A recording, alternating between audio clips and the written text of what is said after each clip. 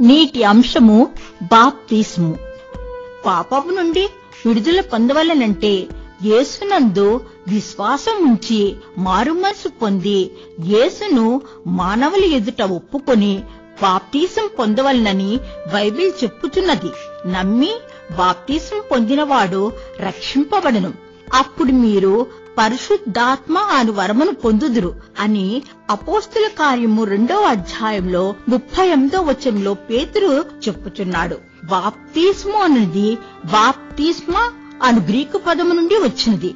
Greek భాషలో దానికి ముంచుట పాతిపెట్టుట అని అర్థము. బాప్తిస్మ వలన యేసు మరణములో పాలు పొందుటకై క్రీస్తుతో కూడా పాతిపెట్టబడితిమి అని అర్థము. బాప్తిస్మని క్రియలో యేసుక్రీస్తు యొక్క మరణము సమాధి పునరుద్ధానములను క్రియలను మనకు సాదృశ్యముగా కనపడవలనని దేవుడు ఉద్దేశించను.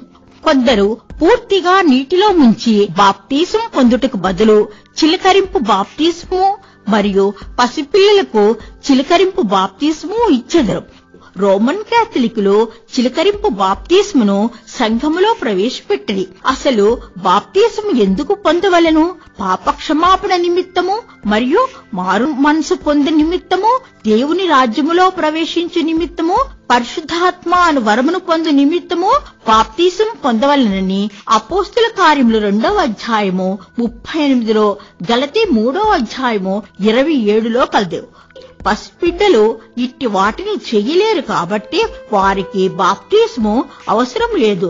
కావున మనిషి మనసు పూర్తిగా పరిపూర్ణమై పాపములు ఒప్పుకొని రక్షణ పొంది దేవుని యందు విశ్వాసం ఉంచితే ప్రతి వారు బాప్తిస్ము పొందవచ్చును. అదే నిజమైన బాప్తిస్మని బైబిల్ చెప్పుతున్నది. బాప్తీసుని ఎక్కడ పొందవలను? అను ప్రశ్నకు నీరు ఉన్న ఏ ప్రదేశంలోనైనా మనస్సు మారిన మనిషి ఎప్పుడైనా బాప్తీసం పొందవచ్చును. ఈ అంశమును బైబిల్లో ప్రస్తావించిన సంఘటనలు విందాం. అపోస్తుల కార్యము రెండవ అధ్యాయము ముప్పై ఆరు నుండి నలభై ఒక వచనంలో కలదు. పెంతుకోస్తున్నాడు యేసునందు విశ్వాసించిన వారు బాప్తీసం కొరకు కనిపెట్టలేదు. ఆ జనసమూహములు పేతురు చేసిన స్వార్థ ప్రసంగములు విని హృదయములలో నొచ్చుకుని వారే మేమేమి చేయవలనని పేతురును అపోస్తులను అడిగి మారు మనసు పొంది బాప్తీసం పొందవలనని జవాబిచ్చిరి. అప్పుడు అతని వాక్యమ అంగీకరించిన వారు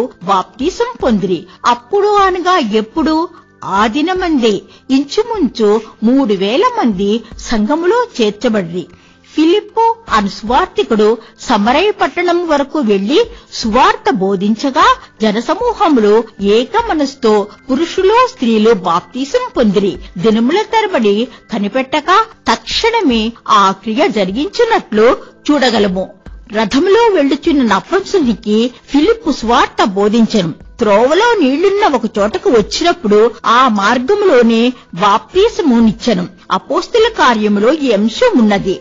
ఫిలిప్పు చెరసాల అధిపతి ఐలారా రక్షణ పొందుటకు నేనేమి చేయవలనని పౌలు శీలలను మధ్యరాత్రి వేళ అడిగను. వారు అతనికిని అతని ఇంటి వారికిని వాక్యము బోధించిరి. రాత్రి ఆ గడియలోనే అతడు అతని ఇంటి వారు బాప్తిస్ము పొందిరి.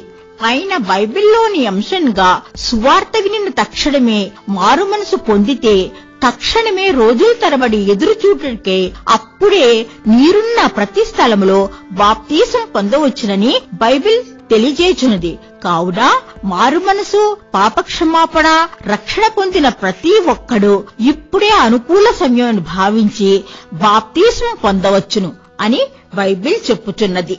మరి మీరు కూడా యేసుక్రీస్తును సొంత రక్షకునిగా అంగీకరించి మారుమనసు పొంది నీటిలో ముంచబడి పాపములను సమాధి చేసి బాప్తీసం పొందగలరని తెలియజేయుచున్నాను.